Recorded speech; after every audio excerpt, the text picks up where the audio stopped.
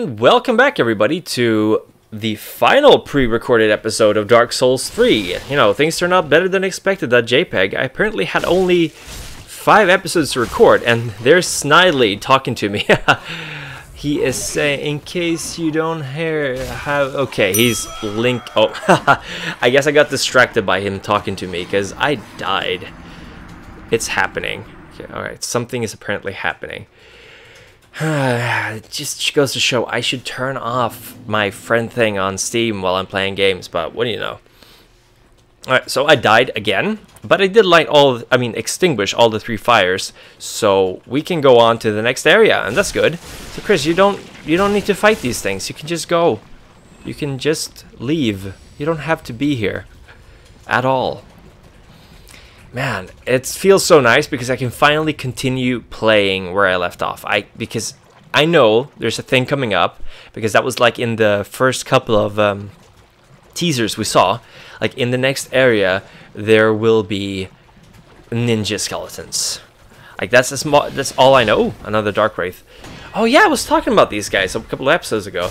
Uh, last episode anyway. The, these are the guys who went around to collect humanity. Like these are the original uh, invaders and the cracked red eye orb was actually invented by these guys to steal uh, humanity. I seem to recall I talked about this back when I first met one of these guys, because we went down into the prison cell where, where one of these. Yeah, that's right, we did, and I did talk a little bit about these guys. Oh. What are you gonna get? You're gonna get a cracked red eye orb. What did I just tell you? These were the original invaders. They're the ones who went around, invaded other people's worlds, and gathered humanity. Now, how would they invade other people's worlds, you ask? Simple. There's a shit ton of timelines. That's the thing in Lordran, the world of Dark Souls 1, and barely mentioned in Dark Souls 2 because it's, you know, everyone's supposed to know it. Everything is happening, like, there, there's. the idea is that every single player is living in their own specific timeline like they are the chosen undead of that timeline. That's that's the general under that's the understood idea of how this world works. So when you join another player, you're actually joining another chosen undead on their adventure to to uh, uh, light the kiln of the of the first flame, which means that they're as much a chosen undead as you are. And that also means that Solaire of Astoria you know, the Praise the Sun guy, he's also a chosen undead in his timeline. Perhaps, because the title of chosen undead doesn't necessarily mean that you are the chosen hero. The chosen undead is just the undead who leaves the asylum to go on a mission to ring the bells and go to Anor Londo and then ultimately to light the um, uh, light the first fire to reignite the first flame. And that would mean that Oh, is, this place lagging or is it just me? The frame rate is dropping, I think. So the idea is that the title of Chosen Undead is misleading because there actually isn't a Chosen Undead. The only like the only criteria for becoming a Chosen Undead, I'm using air quotes here, is leaving the asylum and going on the mission to light the flames. Which means that in your own world, if you fail and another person leaves the asylum, they can become the chosen undead. And in several, several, several different timelines, the chosen undead never makes it to the uh, to the um, to the first kiln or first flame or whatever it's called. But in our timeline, you know, I mean, if you finish the game, he, you do, and you get the option of either continuing the Age of Gods that I was talking about in the previous episode, or you uh, you just leave you decide, no, I'm not having any of this. I'm not killing myself to keep the gods alive. I ain't having none of that bullshit. And I think it's an interesting um, aspect that they sort of didn't capitalize on in the second game at all, because you were never given that option in the second game. If you walk out of there, uh, you don't light the kiln. Like you, you, I mean, there's no cutscene, there's nothing. So you have to light the kiln in the second game. And I, I know some people argued online about it that that uh, you're actually in a time where the kiln wasn't lit at all. Like you're in a time of darkness in the second game. Because there's more humans around as well. Like there's a lot more NPCs around in the second game than in the first one, which is, you know, it's it's interesting if you think about it that the second game is the result of someone not lighting the flame, and that someone would perhaps be the king. I forgot his name. Uh, the the you know the king you find in the find who's you know hidden himself away and has become an undead, uh, a mindless undead. Uh, what was the word for that? See, that's the problem. There's so many words in this series. So uh, I mean, a lot of archaic, uh, old. Ooh, ooh, ooh, ooh. Yeah, you're getting your ass kicked here, Chris. Oh boy, oh boy, oh boy, oh boy, you're almost dead. Watch out, watch out, watch out, watch out. Keep rolling, keep rolling. Rolling, rolling, rolling, rolling, rolling. Yeah, oh, oh boy, you killed one of them, and you killed both of them. Nice, nice. Whew, that sound, that's, they really make a shit ton of sound when they're fighting. Ugh. As you see, there's a lot of weapons buried in the ground here, and that's a little bit of foreshadowing for what's to come. I'm not going to spoil it for you, but this is going to be one epic uh, thing coming up. But yeah, so I'm not entirely sure how this part works into the rest of the myth mythos. Like, I, I'm not to discredit Dark Souls 2 as not being part of it. It just felt like it didn't focus that much on the uh, storyline of the first game. Like it didn't. It, it, I, I don't know if it was a stroke of genius or it was lazy game design. Uh, I'd like to think it was lazy game design. A lot of people argue that that's the point of the second game. Like it didn't matter what your choices were in the first game. You're just doing the, you're going through the same routine again uh, because it's inevitable. It's like a, an Ouroboros. It's a it's a snake eating its own tail. You will never be free of the repetitive lighting the fire thing that's going on. Um, oh, where was I going? I completely lost my track of mind. But I, I think it's just that the, the second game didn't work the story in that well at all. It had some nice stuff that they could work with, but overall, I think they kind of misunderstood uh, Miyazaki, you know, the guy who made the game, the first game. He was working on Bloodborne during the second game. I think they misunderstood his his way of telling a story because Blood, uh, Dark Souls 1 and Bloodborne, and I haven't played Demon Souls, but it, it's supposed to be pretty much as good.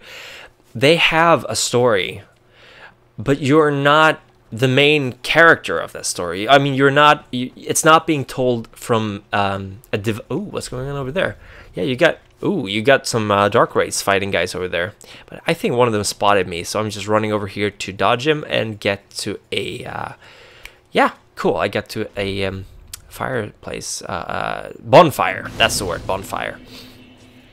Yeah, I, I remember that before I saw the word. Give me some credit. Anyway, uh, there is a story, but unlike a lot of books and other stories similar to them, you're not giving it all in your face. You're not being told what's going on. You have to figure it out on your own. And that's kind of the charm of this game in that there is a lot of lore hidden in the item descriptions and there's a lot of lore hidden in hidden in some random dialogue from some guy you might not even meet which is you know very if I would not want to say realistic because I mean this is not a realistic situation but it is definitely um, reminiscent of kind of old style games where if you didn't read the manual or if you didn't pay attention to what was going on you had no idea what was what was happening in the story. You didn't get a shit ton of exposition. Because that is what this game does so well. It doesn't have a shit ton of exposition. And exposition if you don't know the word i know it, I, I'm, I'm not underestimating you guys here, but exposition is not a very normal word, and I know a lot of my viewers are, you know, kind of young, and you know, English is not their first language. Exposition basically means uh, someone is telling you what's going on. Exposition at its, uh, you know, if, if for example someone is dropping a nuke, and one person goes, "Oh my God, that's a nuke!" That's exposition and also poor exposition because you don't have to tell the player that's a nuke. They can see it with their own eyes. But a lot of games actually make this mistake in telling you everything that's going on because they don't want you to miss it. The game designers put a lot of time and effort into doing something nice and they don't want you to miss it because yeah and that's understandable because you know if you if you put a couple of months into the effects of recreating a nuclear explosion why would you want the player looking some other way missing it by accident so that's why they lock the camera on the nuke explosion and they tell you straight out, yeah, they have an NPC going, an unplayer character going, oh my god, that's a nuke. just to make sure that you know what's going on. And I think it's not entirely bad. Um, if I mean it because it, it really you know it reinforces what's going on. So if there's any kind of confusion, that will not be a thing anymore because you will know what's going on. But at some points, it really feels um, unnecessary because you can see what's going on. You can see that there's a nuclear explosion. You can see that that giant fucking dragon uh, is turned inside out and it's just filled with teeth, vagina dentata, or whatever you want to call it. Um, it's it's unnecessary to explain to the players what's going on. And this game does it really well because they don't tell you what's going on, but they leave hints for you to figure it out on your own. And so many games these days don't do that. That's why I think Dark Souls is such a great game series. And unfortunately, what Dark Souls 2 fucked up was that they didn't have uh, a bunch of stuff showing you in the background what was going on.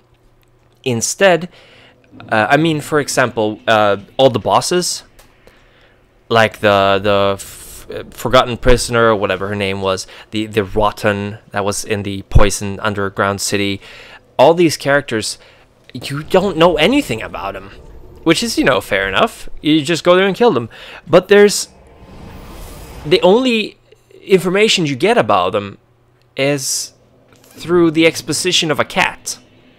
Like, correct me if I'm wrong, I might be misremembering stuff here, but there's a cat in the hub city, which in itself is a stupid thing to have in a Dark Souls game because you're supposed to be alone. You're not supposed to be with other people.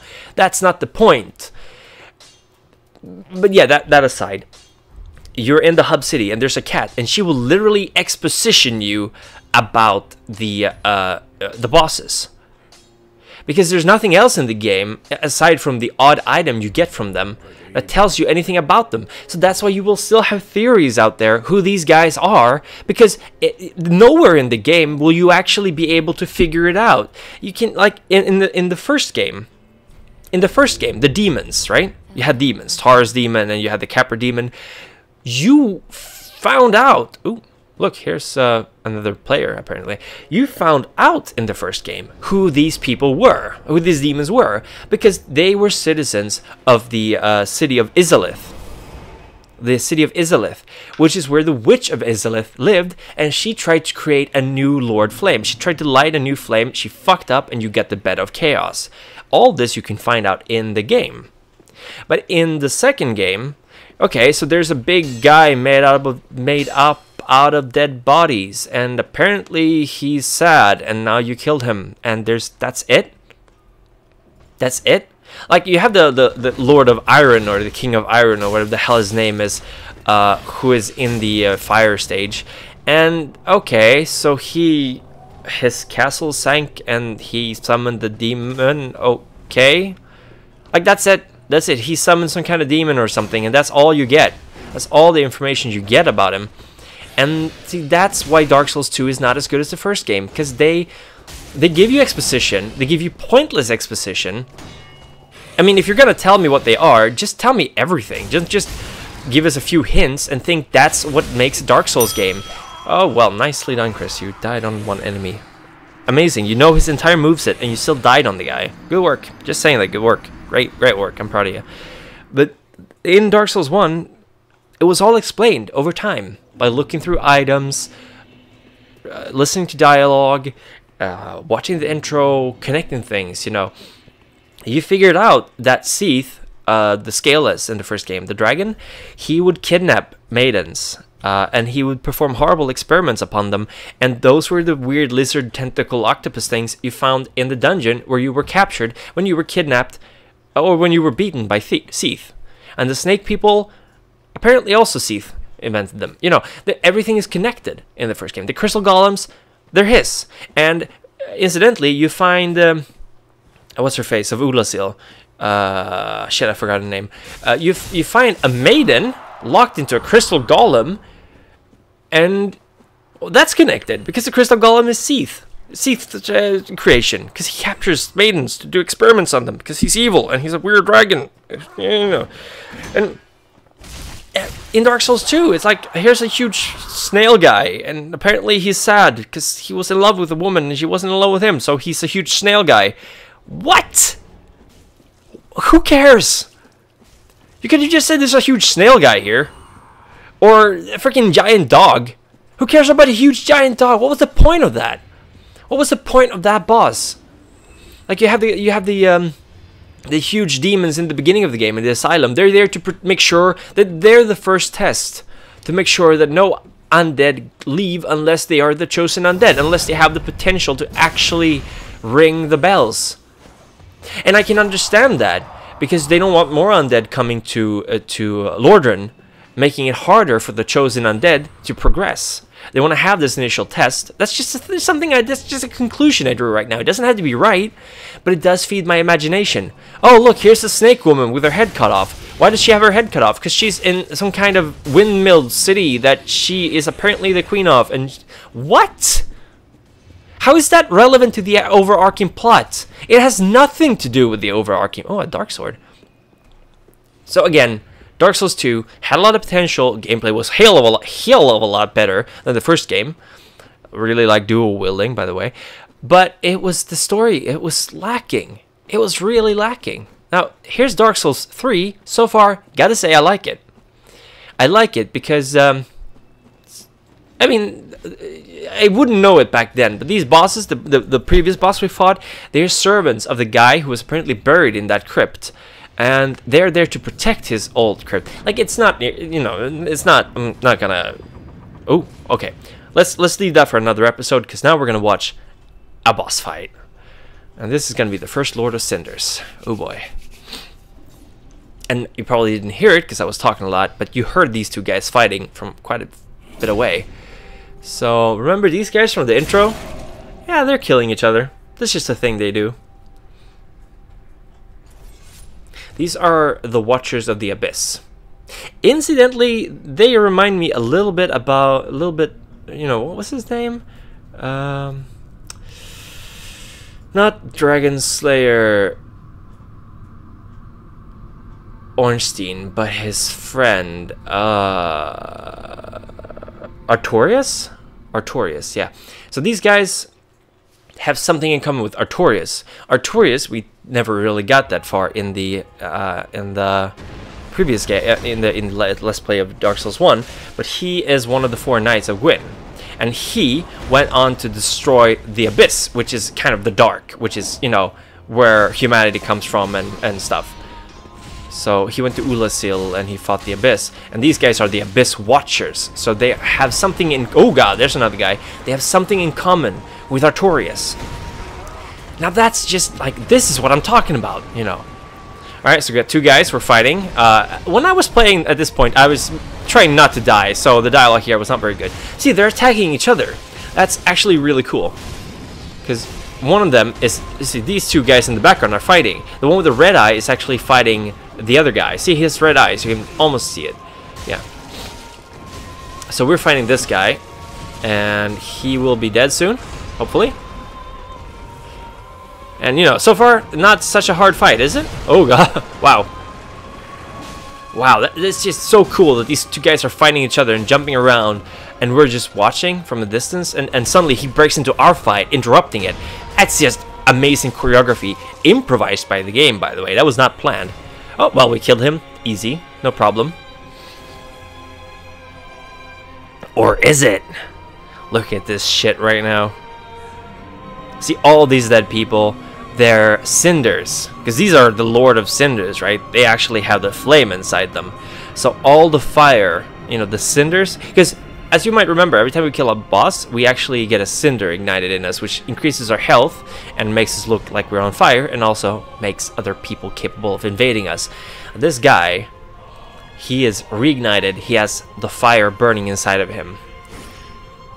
These were once the Lord of Cinders they lit the primordial flame. And now they're on fire again, and we had to take that fire from him. Now the actual fight starts. This is some this is some cool shit. Like the execution of this so much better than Dark Souls 2. Come up me, bruh. Why do you keep doing that, Chris? Oh boy, he's coming at you. Oh boy. Notice I have six Estus flasks left. Oh boy, oh boy, there's so much shit going on right here. And you have no Oh wow. This is some freaking... This is some berserk shit going on right now. Look at how he's fighting. It's awesome. He just throw himself into the air. He's circling. Oh, I love it. Wow. This moveset is amazing. Jesus Christ, so cool. Oh, that's good. Got a few hits in on him. Only got two Estus flasks left. So, How did that happen? Oh boy. Nice blocking there. Nice blocking. He got him down to half. Oh boy. Oh boy. Oof. One Estus flask left. Oh. And now we are officially out of flasks. Yep. And he's got half his health left. This is not looking good. This is not looking good for Chris. Oh boy, oh boy, oh boy, oh boy, oh boy. And the music is just so good in the background. Oh, listen to it.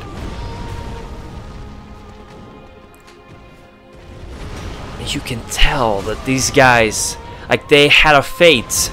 They ignited the flame and then they perished through infighting or something. And now we're here to take the flame from them. We're here to get rid of this Lord of Cinder who has abandoned his duty to keep the fire lit. They were heroes once. Oh boy. Oh, ho, ho, almost got him. Almost got him. And he's almost got you. One more hit from him and we're dead. This is so epic. Jesus Christ. And just the music is, is, is a perfect choice of music. Because this is not an intense fight. This is a sad fight. You're, you're killing a former hero, a legend, and you got him. Good work. Oh boy, the Lord of Cinder has fallen. Cinders of a Lord. Soul of the blood of the wolf. Shit, if that's not epic, then I don't know what is. Yeah, you sit down and take a rest, Chris, because wow. That was an intense fight. Emphasis on intense, Jesus. Well, I'm, I mean, I'm calm right now, but I was sweating bullets when I was doing that. So, that's it for this episode. See you guys in the next one.